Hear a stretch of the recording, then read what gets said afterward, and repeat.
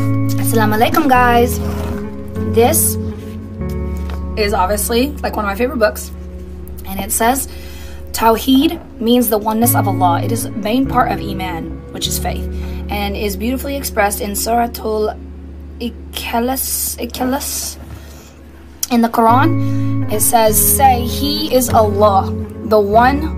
Allah is eternal and absolute. None is born of Him, nor is He born. And there is none like Him. Tawheed is the most important Islamic belief. It means that everything on this earth is created by Allah, who looks after and provides for all of the needs of every creature. He is the only source of our guidance. Tawheed is the belief in Allah with all His powers. Allah is the all knowing, the all wise, and all powerful. He is merciful, the kind, and the most loving. He is with us all the time. He sees us, but we do not see Him. He was, is, and always will be. He is the first and the last. He has no partner or daughter or son.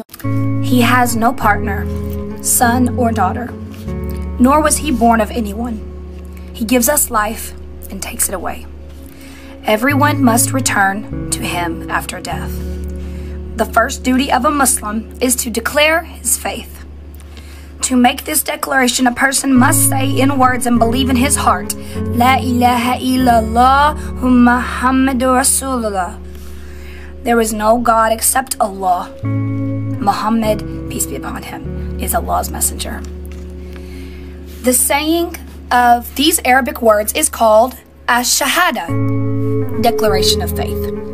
There are two parts of this decla- declaration. La ilaha illallah and Muhammadur Rasulullah. Muhammadur Rasulullah. The first part, I'll do a part three. A believer must first cleanse his heart of the idea of any other God or any other object of worship.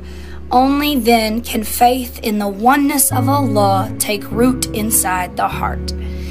Let us try to understand this with an example. Suppose we have a piece of land which is full of weeds and bushes where we want to grow wheat. Now, if we sow, if we sow very good wheat seeds in the land, Without first cleaning it fully, we cannot hope to get a good wheat crop. So what must we do?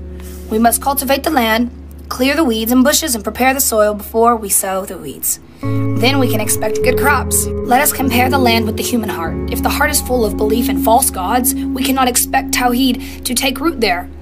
So it must be cleansed of any other god or object of worship. Only then will Tawheed take root and the light of faith will shine.